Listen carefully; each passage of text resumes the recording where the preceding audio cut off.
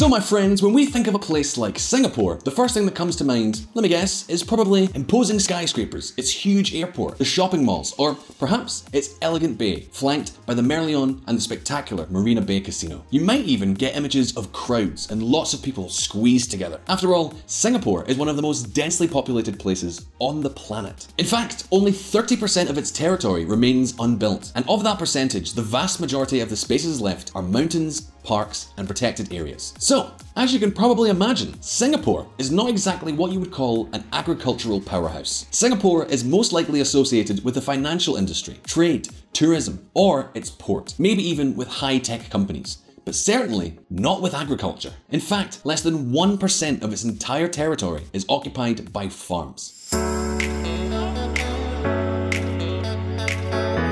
Obviously, it's not surprising that with Singapore's rapid population growth over the past few decades, most of its land has been used for housing, offices, and commercial space. As a result, the country's primary sector, especially agriculture and livestock farming, has virtually disappeared. As an example, while Singapore had about 15,000 hectares of arable land and agricultural activity, which accounted for 3% of GDP in 1960, today there are fewer than 600 hectares, and its share of GDP is less than 0.02%.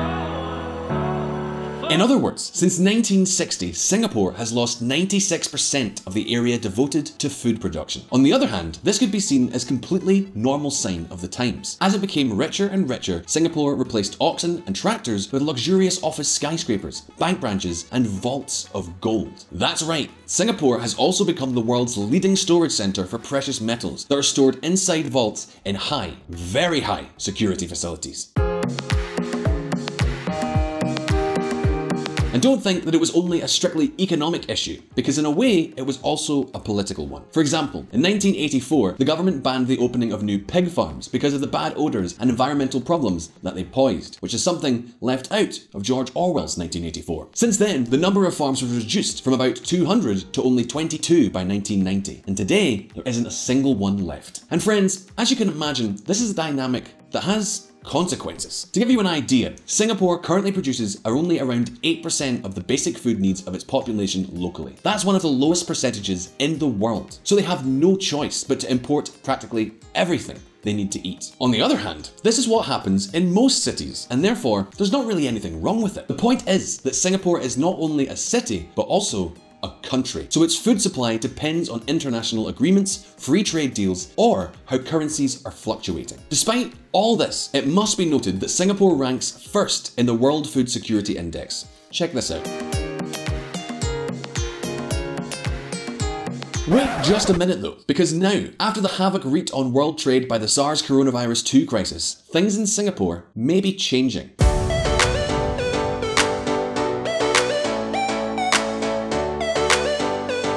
In fact, the government of this city-state has suddenly pivoted and has put on the table its intention to drastically increase agricultural production using a very unusual model. But why? Why does the government of one of the most prosperous places in the world want to revive agricultural activity? And why now? Does it make sense to do so? Is it really possible in a city dominated by skyscrapers, international financial headquarters, endless shopping malls, and buildings everywhere? So my friends, would you like to come with us to learn more about this amazing venture by the Singaporean government? If so, let's get cracking.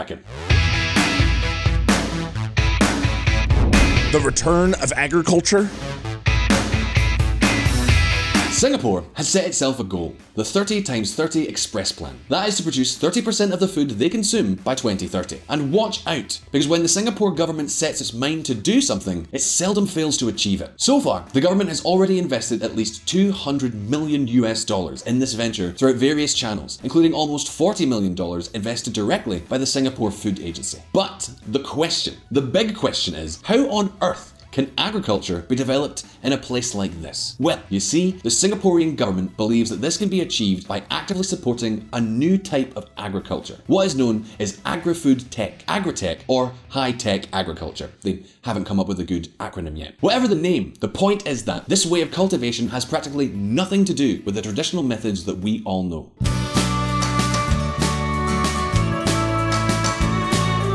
High-tech agriculture is a new form of intensive, or you could say ultra-intensive, farming, which involves making the most of the available space and being super efficient in order to multiply farm yields. If we think of, for example, a traditional lettuce farm, they require a certain growing time and climatic conditions that are not necessarily found everywhere. Well, all of these limitations practically disappear in agri-tech farms, places that are more like laboratories than the traditional factories that we all know. In these high-tech farms, the vegetables are grown in a kind of modern greenhouse, arranged vertically on walls in rows on top of each other. They receive artificial light and heat, humidity and temper conditions are optimized for each crop, and they are irrigated with nutrient-enriched water. In some cases, harvesting is even automated with the use of robots we aim to capture a significant share of the economic opportunities in the agri-food tech sector.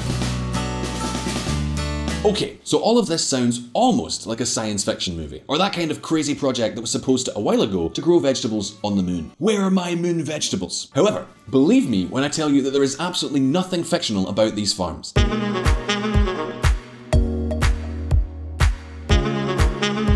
In Singapore and in other countries around the world, this type of exploitation is blooming. Uh-huh. See what I did there? And the truth is that it has become a very promising activity. For example, this city-state we are talking about already has 31 farms in operation, while in 2016 it only had 12. In recent years, in fact, with the number of farms and food production have been experiencing steady growth, both for the production of vegetables and also for that of fish. And watch out, because the government's gamble has only just begun. Of course, at this point, I'm sure the question many of you are asking is, alright Grant, but why have they embarked on such a project? What are the Singaporean government's reasons for pursuing the 30 times 30 venture? Why on earth have they already invested more than $200 million in this scheme? The main argument they have put on the table is none other than ensuring their food supply chain. As we told you at the beginning of this video, Singapore is almost totally dependent on imports to feed its population. At the same time, as we also told you, this is the most food secure country in the world. The question is, how is this possible? It should be either one or the other don't you think?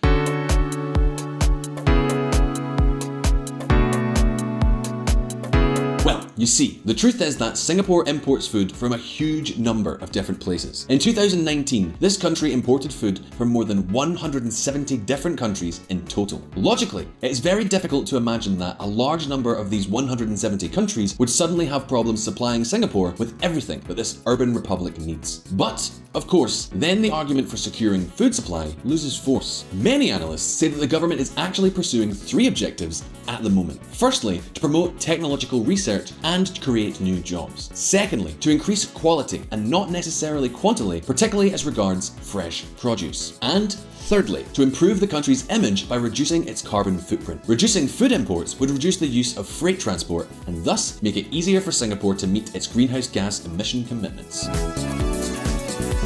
Of course, on paper, this all looks very impressive. But now, is there any country that Singapore can look at and say, yes, it can be done. And is it worth it? Well, the truth is, yes. Although it is quite far away from this sovereign city. Specifically, it's here in Europe. We are, of course, talking about the Netherlands. A country that, as we've told you before here on VisualPolitik, has managed to become one of the largest exporters of food in the world. Food grown in advanced greenhouses using the latest technology. But just in case you missed that video, do you need a quick reminder? If so, shame on you for not watching all of our videos. But listen up, because in the medium and long term, this may be the result of that the Singaporean government is dreaming of. the era of LEDs and artificial climate. From the outside, many of these farms may look like normal greenhouses. But from the inside, it's a different story. The Dutch example is plainly and simply impressive. Since 2000, they have succeeded in converting many traditional farms into high-tech farms, multiplying production and reducing the resources used by half, and all with virtually no chemical pesticides used in the process. Even in the most modern poultry farms, the use of antibiotics has been reduced by 60%. And that's not even the best part. Thanks to this neo-agriculture model, the Netherlands has managed to become, measured in dollars, the second largest food exporter in the world, only behind the United States, whose territory is 270 times larger. In addition, the country already has a cluster of more than 20 universities focused on agricultural research short, the Dutch produce much more in less space in a more sustainable way. And on top of that, this practice has allowed them to become an agricultural export power. Who would have thought? The Dutch.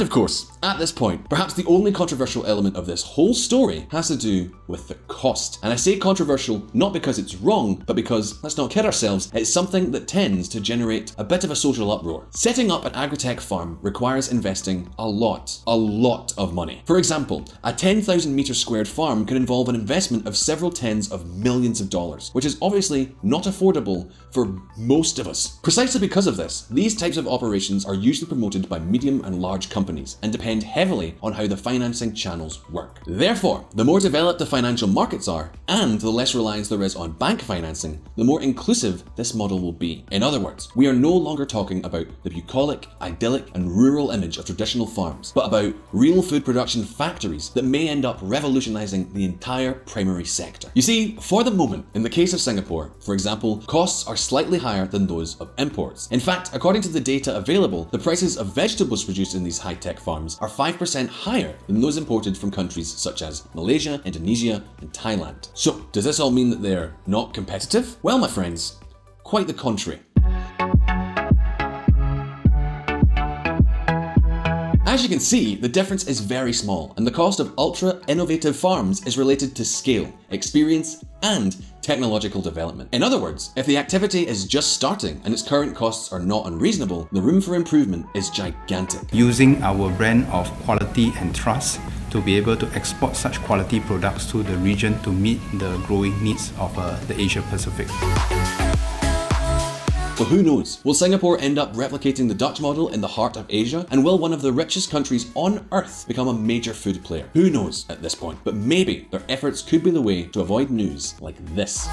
10% of Singaporeans struggle to get sufficient, safe, nutritious food. Study the Straits Times. In the end, only time will tell. For now, let's open a debate in the comments with all of you. What do you think of these new farming models? Can you imagine the future stars of Silicon Valley, Shenzhen, or Singapore planting tomatoes, carrots, and lettuces? Leave your answer in the comments below. Thanks for watching guys, we really hope you enjoyed this video. Please hit like if you did, and don't forget to subscribe for brand new videos. Hope you enjoyed it, and as always, I'll see you next time. And if you want to learn more about politics and hear even more of my lovely voice, you can join us at Reconsider Media. We have a podcast at reconsidermedia.com slash podcast. See you there.